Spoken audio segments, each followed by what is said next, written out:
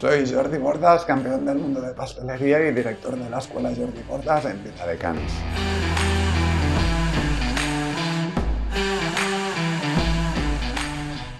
En la escuela hacemos cursos de pastelería y también hacemos mucha investigación y desarrollo para los nuevos productos, introducir nuevos ingredientes en pastelería y recientemente acabamos de presentar nuestro primer libro de pastelería más saludable, ligera y sabrosa.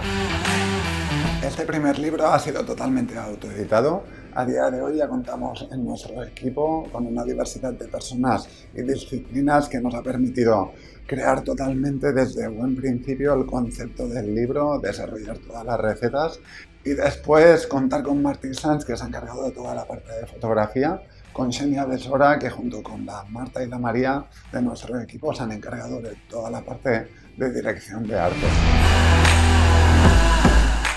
El título de pastelería más saludable, ligera y sabrosa significa que por una parte tenemos la salud, donde intentamos reducir todos los ingredientes que son más agresivos y añadir ingredientes que son interesantes a nivel de parámetros nutricionales. Después tenemos el concepto de pastelería más ligera, donde reducimos grasas saturadas y azúcares y carbohidratos refinados en general, para que sea una pastelería mucho más fácil de digerir. Y finalmente apostamos por una pastelería más sabrosa, donde guardamos la pureza del sabor de los ingredientes principales que estamos utilizando en nuestras elaboraciones. La primera parte del libro es clave, ya que explicamos cuál es nuestra filosofía de trabajo y de la relación entre pastelería y salud. Este trabajo lo hemos hecho con Natalia Eres y hemos explicado exactamente cuál es el impacto, por ejemplo, de un azúcar o de un carbohidrato refinado o de las grasas saturadas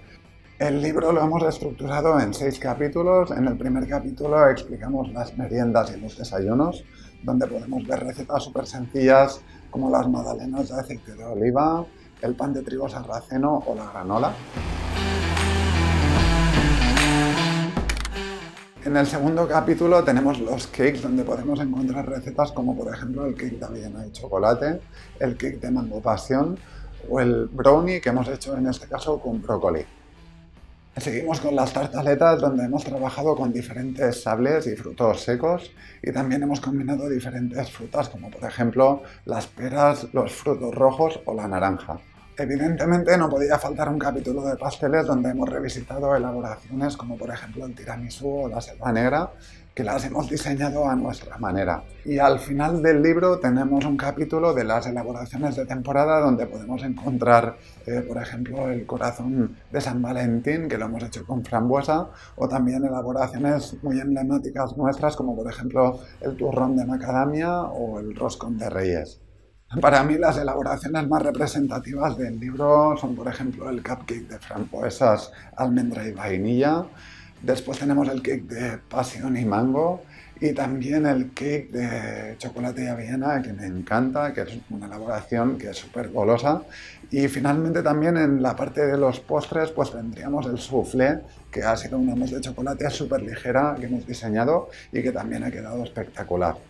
Este libro va dirigido tanto a personas aficionadas a la pastelería, que quieren hacer una pastelería más consciente, más saludable, ligera y sabrosa, y también a profesionales que quieren trabajar en esta dirección.